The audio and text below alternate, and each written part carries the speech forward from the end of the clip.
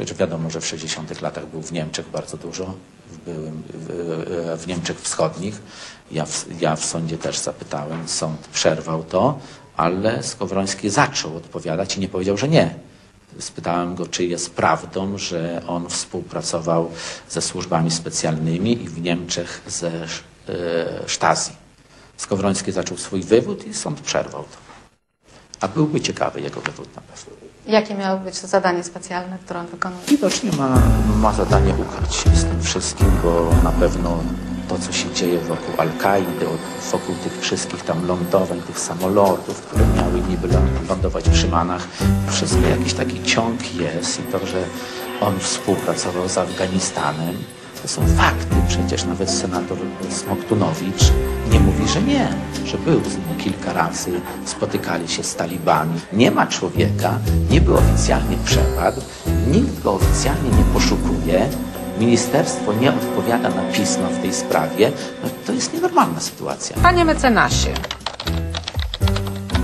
chciałam spytać o pańską y, wyprawę do Afganistanu z szefem y, firmy Intercommerce. Szkoda, że z pańskiej galerii zdjęć w internecie znikła ta fotografia z Afganistanu, gdzie e, pozował pan na czołgu. Co to był za czołg?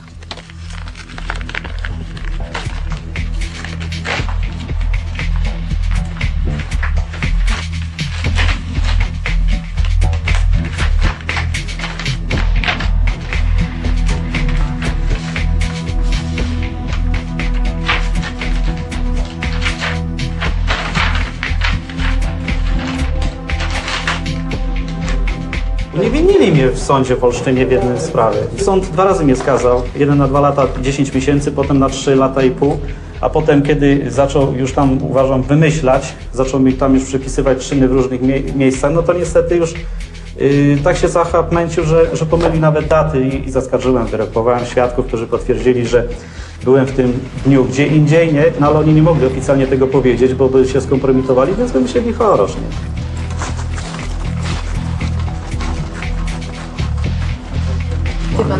Skowrońskim? Co z nim teraz się dzieje? Otrzymałem taką informację, że Skowroński y, w tej chwili jest za granicą, ale mam też informację taką z drugiej ręki, że, że ktoś go szuka, że wydał na niego wyrok śmierci i on po prostu o tym wie i, i ucieka. Tak to mogę powiedzieć.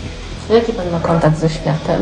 Jestem przewożony w transportach z różnymi ludźmi, którzy kiedyś należeli do świata przestępczego, czy Pruszkowa, czy Wołomina i my się widujemy. Przecież taki transport trwa dwa dni. Czy ktoś przyjeżdża do aresztu, y, to takie informacje można uzyskać. Dotarłam do, do tego, jeśli, jeśli dobrze rozszyfrowałam. A kogo Pani rozszywała pod tym skrótem? Yy, nie, powiem Pani, yy, to co podałem to nie jest imię, nazwisko prawdziwe tego człowieka. Ale mnie pan oszukuje. Nie na szkole. Panie Bogdanie, dlaczego pan mnie wkręca? A to jest jego prawdziwe nazwisko. No to dobrze trafiłam. Nie oszukuje pan? Nie, no bez przesady. A skąd pan to wie? Kurka siwa, skąd pan to wie? Po prostu miałem kiedyś kontakt z kimś, który pracował w Urzędzie Ochrony Państwa. I to dosyć długo, no ale żeśmy się bardzo przyjaźnili, który prowadzi, pracował, Makowski był jego szefem, nie? I nie ukrywam, że jak zacząłem pracować w firmie Intercommerce, to ten ktoś był bardzo zainteresowany jakimiś poruchankami z tym panem. Słynny kalendarz Gasińskiego. Co to było w końcu ten kalendarz? Tym kalendarzu po prostu spisałem pewne rzeczy z jednego dokumentu. Ten kalendarz był po prostu u mnie, posiadałem go w domu. Nie? Zresztą pani może się zapytać mojej mamy. Zrobiono przeszukanie w domu do innej sprawy i ten kalendarz znaleziono właśnie w 2001 roku, na początku. I zebrano ten kalendarz po prostu z domu. Zabrało go Centralne Biuro Śledcze we Wrocławiu i potem został w jakichś dziwnych okolicznościach znalazł się w Szczecinie ten kalendarz. Czy pan wie, co to było, co to były za informacje, te wszystkie To były dane? dokumenty, które jak ja w ostatnich dniach, kiedy wyjeżdżałem z Interkomersu, bardzo często jeździłem do Młynika, tam jest rezydencja Skowrońskiego, w tym drugim domu, w pierwszym zawsze nagrawa był drugim Skowroński. Nieraz jak zapiód, ja nieraz spałem tam do rana, bo gdzie było się przespać, nie? I tam Skowroński miał swoje notatki, czasami po prostu przepisywałem sobie stamtąd. Mm, Brzydko, No, normalnie. brzydko. Znaczy to nie brzydko, tylko po prostu tak było. No. Komuś na tym zależało, nie? Żeby pan spisywał? Tak. Komuś zależało na tym, żeby ugotować Skowrońskiego. Znaczy ugotować, powiedzieć po, po prostu prawdę o nim, nie? No i ten ktoś też o panu zapomniał. Nie, nie powiedziałbym, żeby zapomniał, bo gdyby zapomniał, to ja bym tutaj, że tak powiem, mo- nie żył, no tak można powiedzieć. Nie? Wiedziałem, że mogę za to zapłacić, no. Kiedy, do, co? kiedy Opłacało się? Oczywiście, że się opłacało, bo w tej chwili to yy, nie ja mam kłopoty tak wielkie, bo jakieś tam mam, nie? Ale nie siedzę na rękach, nie jestem oskarżony o zabójstwo, ani jakieś tam wielkie, że tak powiem, rzeczy. A to Skowroński musi się kryć. Jeden z najbogatszych ludzi w Polsce kiedyś, nie? I to można powiedzieć przeze mnie, i przez takiego można powiedzieć w cudzysłowie misiak. A pan siedzi w domu wariatów. Na razie jest to jeszcze obserwacja, nie? I powiem szczerze, odnoszę takie wrażenie, że chyba ci lekarze chcą mi chyba, tak, tak ja odczuwam, obym się nie mylił, nie? No ale też nie mogę się doszukiwać u wszystkich jakichś tam teorii spiskowych świata, nie? Bo przecież to można byłoby zwariować z, tego, nie? Ale odnoszę, że ci ludzie mnie rozumieją, widzę, że oni chcą mi pomóc.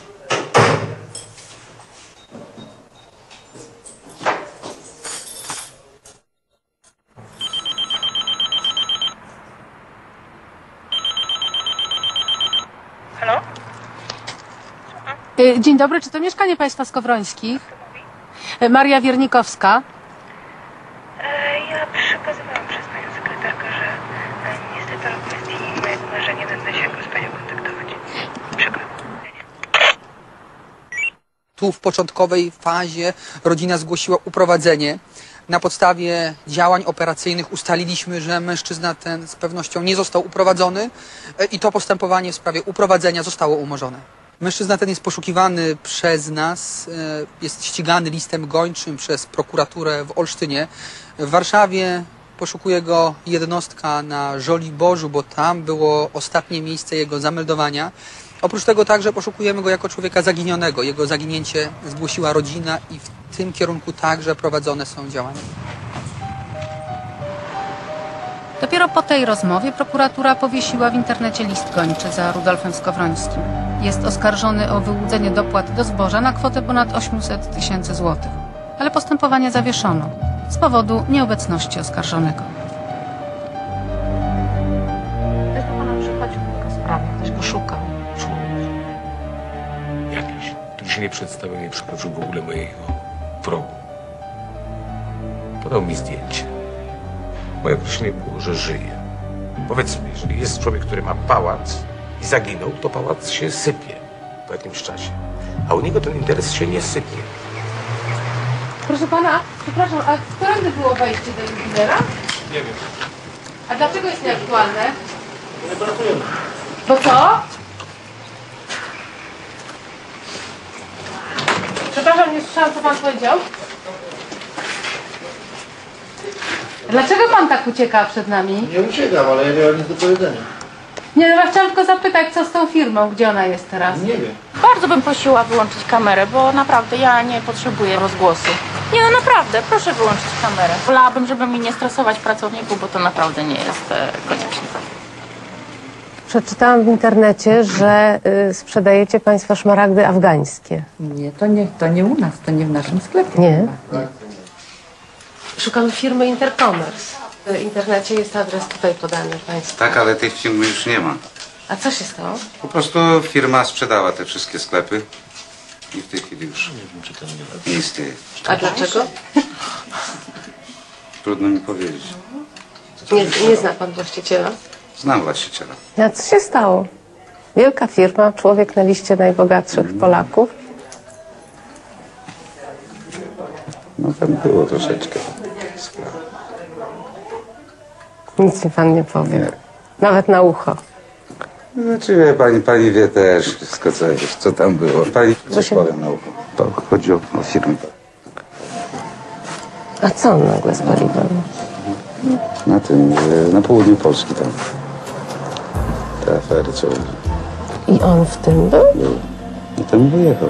Wie pan, gdzie on teraz jest? Za granicą. Miał budować centrum na Hetmańskiej przecież. No i coś tam się rozwiało.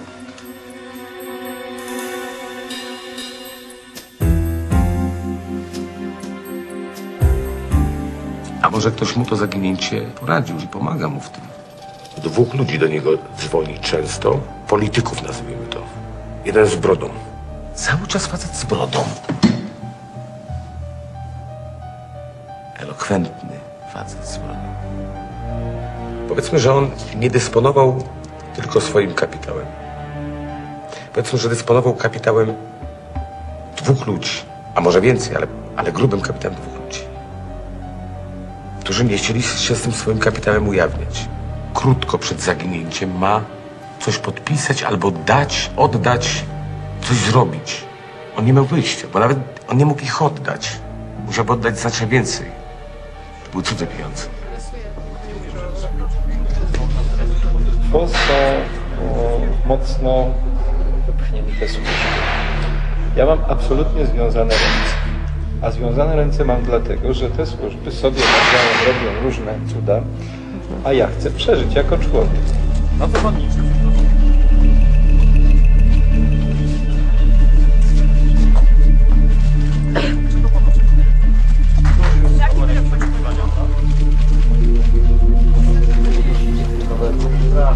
Pan zna Rudolfa Skowrońskiego? Gwarancją, jak to wszystko trwa, e, mojego bytu było to, że mi łba nie urwą. Poza, wszyscy są pozamieszani, w związku z tym ja e, mogę spać spokojnie, no ale to się kończy. Ja mogę i ja zniknąć. Mnie Skowrońskiego przedstawił. Przedstawił mi go w kontekście, który jest śmieszny, bo e, byliśmy na kolacji. Wszyscy nie mają nazwisk. Nie, ten lobbysta to pan doktor. Hmm, to znaczy e, pan, Dochnel, Skowroński i e, pół, No i- pułkownik, generał? A nie, to cywilny wywiad. No dobrze, zostawmy. I w ogóle cały pomysł to był pomysł pana Skowrońskiego, więc zetknąłem się z nim. Kto mi przedstawił, to już pani powiedziałem. A może pan powiedzieć jeszcze raz? No powiedzmy, że służby no, cywilne, a ja jestem z wojskowych, więc konkurenci, ale zaprzyjaźnieni. I Przedstawili go jako kogo? Jako swojego człowieka, który e, po prostu jest godny zaufania, jeśli chodzi o inwestycje finansowe. Pamiętam, że był jakiś pan Grauso, który usiłował kupić, e, przynieść jakieś duże pieniądze. Chodziło o łączenie tego z TWN-em, z ITI-em. Było mnóstwo ludzi ze służb, rzeczywiście, którzy się wokół tego kręcili, którzy mieli nazwiska operacyjne, więc to i tak nic nie da, nawet pewnie ich nie pamiętam, bo się pojawiali i mówili, to ja jestem od tego, czy tam ktoś przedstawiał, mówi, to ten jest, to może byście, ale trochę się zacząłem bać tego wszystkiego. Pan? A ja. Pan wojskowy wywiad boi się cywilnego? Wojskowy wywiad e, to jest jedna sprawa, a człowiek, który w tym wywiadzie pracuje, to jest druga sprawa. Przecież ja nie robiłem tego dla wywiadu wojskowego, tylko po to, żeby się odbić od dna. No ale się nie odbiłem, jak widać. Rudolfie Skowroński, ja w ogóle go ledwo znam. Także szkoda czasu. Mm, Pan Rzemek powiedział mi, że to pan y, przyprowadził y, go do Skowrońskiego.